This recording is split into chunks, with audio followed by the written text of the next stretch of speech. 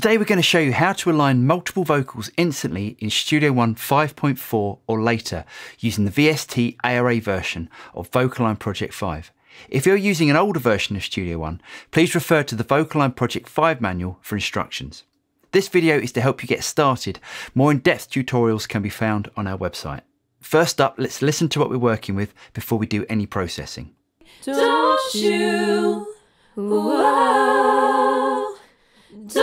You? Whoa, build an ocean for you, an ocean for two, ocean for you.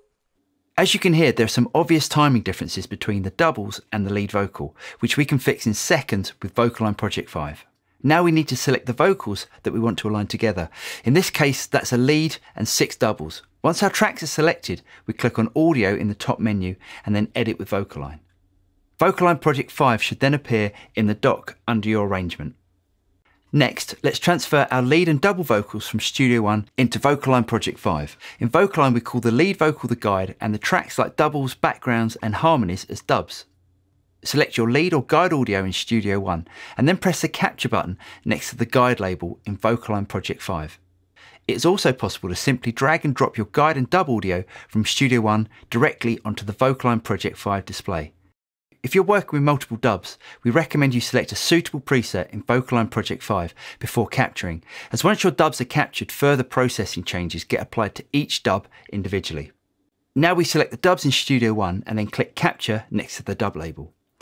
You can now see the dub waveforms have been successfully loaded into VocAlign Project 5 and are shown here in orange. Once your guide and dubs are captured, newly aligned audio outputs are automatically created and returned to Studio One. The new outputs are shown here in yellow. You can also see the blue outline of the guide placed over the top of the outputs so you can quickly compare how similar the signals are. As we said previously, once you capture your dubs, any changes you make in the VocAlign Project 5 plugin will only be applied to the currently selected dub. To change the settings for an individual dub, select the dub track in Studio One and adjust the settings in VocAlign. You can always check the dub you are processing by referring to this label here. As we're using the ARA2 version of VocAlign, the audio in Studio One has been automatically updated. So to audition, we just need to press play. But first, let's listen to how our vocals sounded before. Don't you?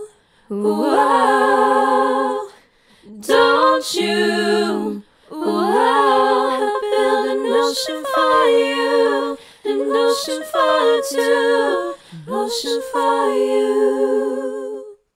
And then after being processed by VocAlign Project 5. Don't you? Whoa, don't you?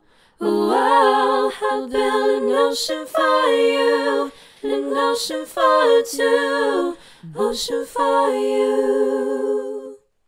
Great, that's sounding much better.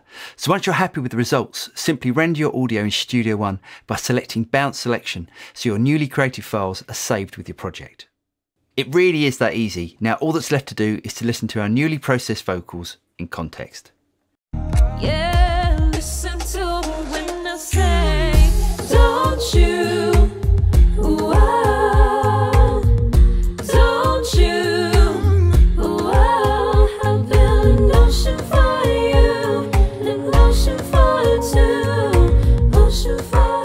We hope that's been helpful and please visit our website for more tutorials.